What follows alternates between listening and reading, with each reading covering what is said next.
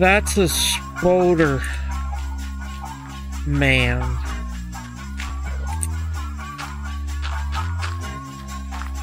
You know what makes me the most saddest person in the world? Is that if you get by a cat, you don't get turned into a cat. But if you get bit by a spider, you can turn into a spider? Well, it's. Oh, no, it's because it's radioactive. Oh, yeah. So if I get bit by a normal spider, I won't turn into a spider man. Uh, no, no, no. No. You've got it all wrong, me. See, look, he bit you. Look.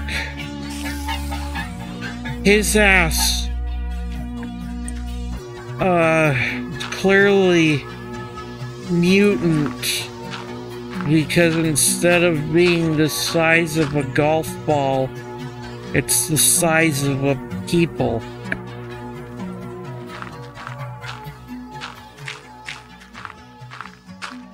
But no, see, I'm I'm still not Spider-Man. I sounded so sad about that. Was hilarious.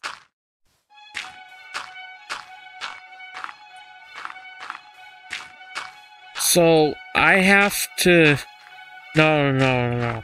If I get bit by a radioactive cat, I'm gonna turn into Catman.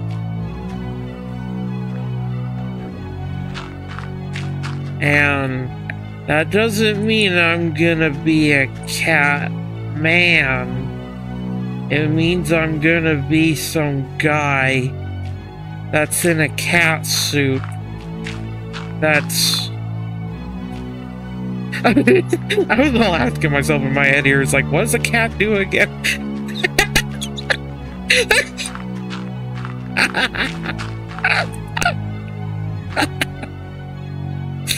It's like, I don't know. In the context, okay.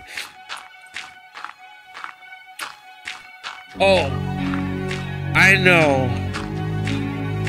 I'd be able to see at night when it's dark.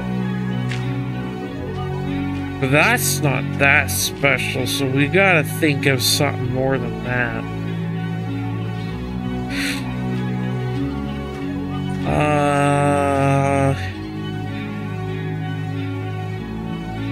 I'd have claws, and they'd be pretty sharp and stuff, so that would be a net benefit.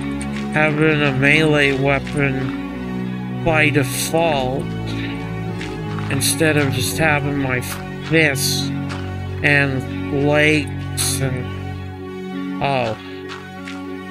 So I already have a melee weapon, they're just not as cool as claws. Okay, let's see. I would be able to move very quickly. Now that would be cool. That, okay, that's a real benefit. Because I'm slow.